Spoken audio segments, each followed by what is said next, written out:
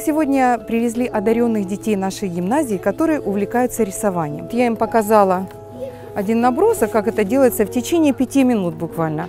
Они поняли, как расположить правильно композицию в листе, с чего начать, и вы увидите, что получилось у них.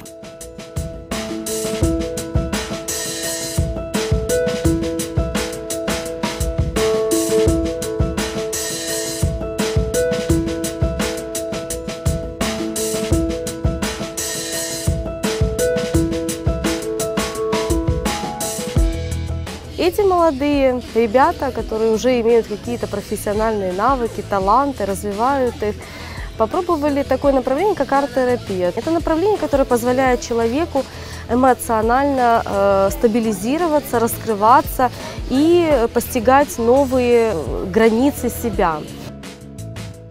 Мы сидели напротив, и перед нами бегали несколько лошадок. Я срисовывала. Я нарисовала э, наездника, который сидит на лошадке. И травку, там, солнышко. Я хочу быть дизайнером комнат. У них ну, чувство добра тоже воспитывается. Добро к животным, оно переносится и к людям.